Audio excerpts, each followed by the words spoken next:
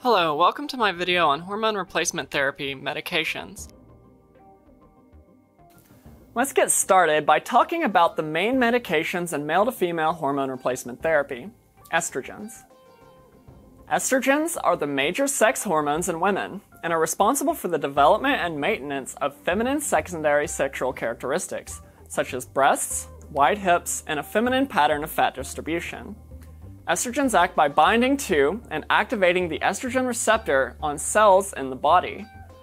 The estrogens that are used in transgender women are estradiol and estradiol esters such as estradiol valerate and estradiol cypionate.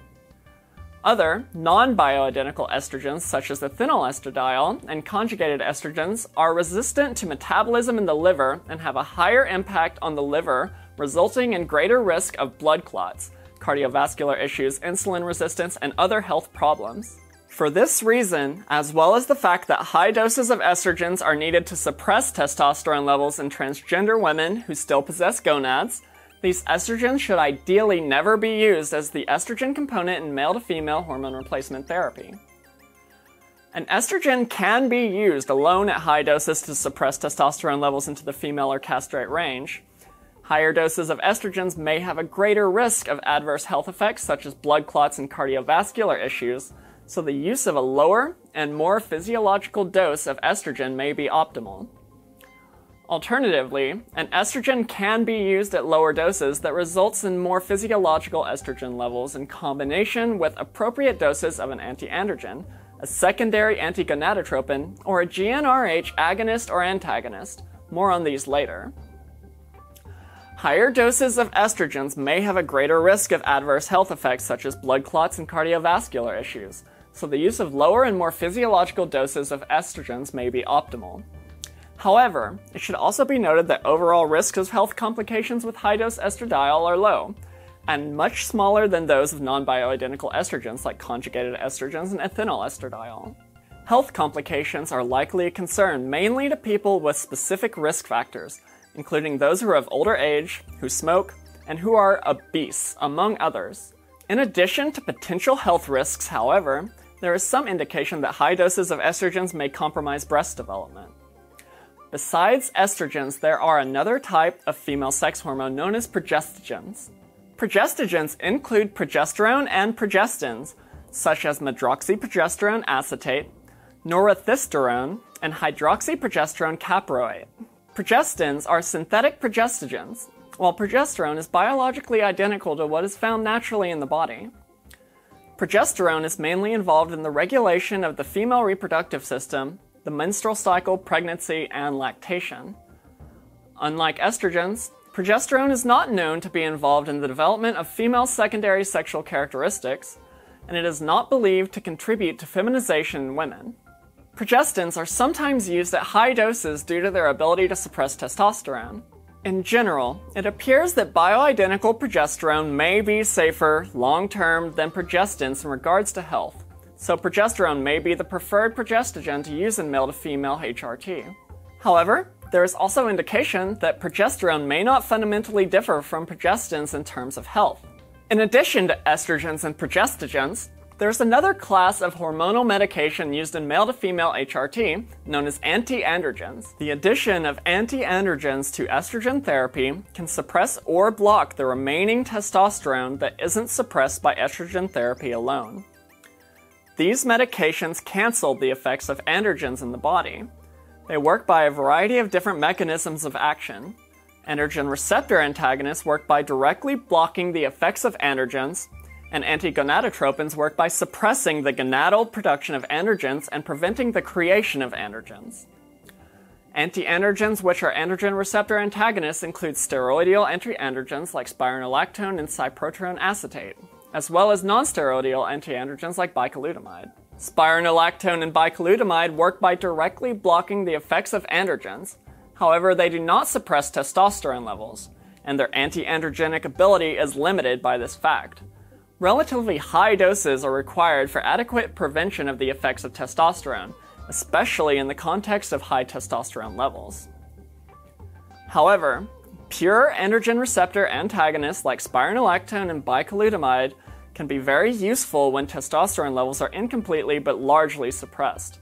Because pure androgen receptor antagonists do not work by lowering testosterone levels, blood work is less useful for them.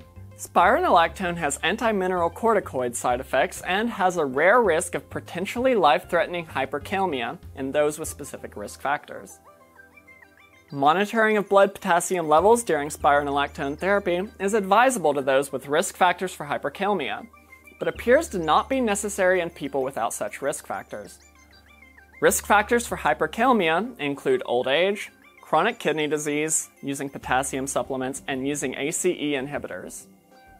Spironolactone has been found to decrease the estradiol levels achieved by oral estradiol.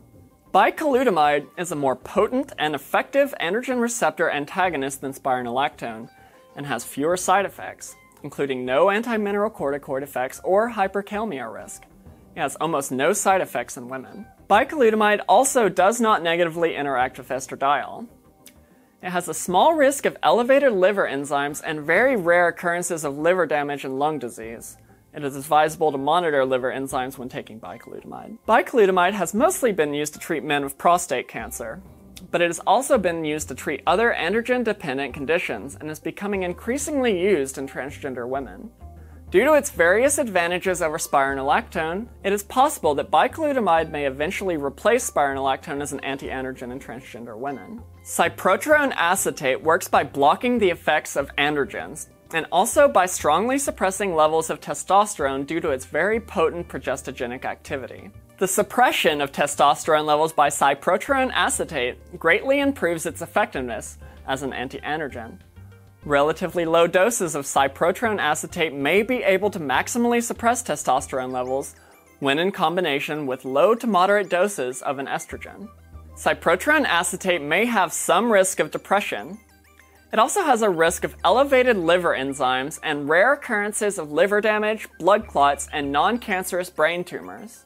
Monitoring of liver enzymes and prolactin levels allows for detection of liver problems and one of the types of brain tumor. And it is advisable during cyproterone acetate therapy. The side effects and risks of cyproterone acetate may be reduced by using the lowest effective dosage, which may be far lower than what is often used clinically. Cyproterone acetate is notably not approved for use in the United States, but is available in most other countries. Although estrogens and progestogens are antigonadotropins, and therefore functionally antiandrogenic, they are not usually referred to as antiandrogens. Instead, the term is most commonly reserved to describe other antiandrogens, especially androgen receptor antagonists like spironolactone cyproterone acetate, and bicalutamide. Some medications are classified as antigonadotropins, including certain high-dose estrogen and progestogen therapies. Antigonadotropins also include GnRH agonists and antagonists. GnRH agonists and antagonists work by completely blocking the effects of GnRH, which stops gonadal sex hormone production.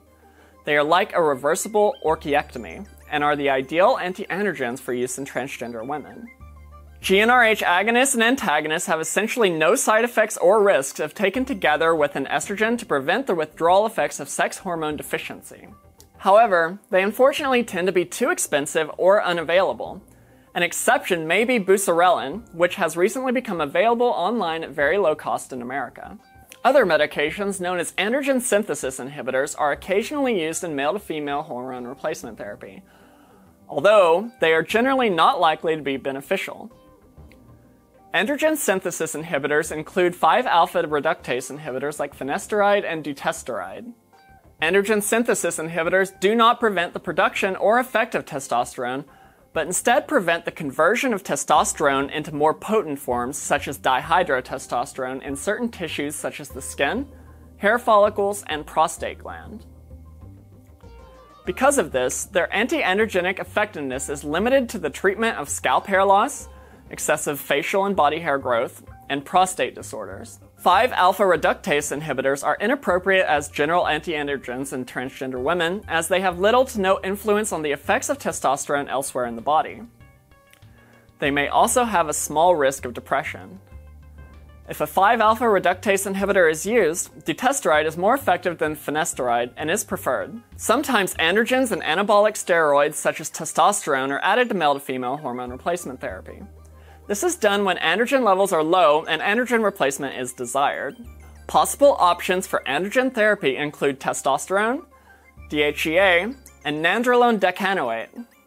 It has been proposed that increasing levels of testosterone may provide benefits such as increased sexual desire, improved mood or energy, positive effects on skin health and cellulite, and increased muscle size and strength. However, it should be noted that testosterone has only been shown to have slight effects on sexual desire in women even at well above normal levels, and there is insufficient evidence to support mental benefits in women, such as improved mood or energy, at present. Thank you so much for watching. Don't forget to subscribe, ring the bell, and leave a like. It would help out a ton, and I really appreciate you watching. Thank you so much. I'd like to wish a special thank you to the Reddit MtF HRT community, including Ali, Simona Summers, and 2D40. The Reddit MtF community is a wonderful place to find information that is objective and informed on MtF I'd also like to wish a very special thank you to my patrons, including Kara H. Your support really does mean the world to me.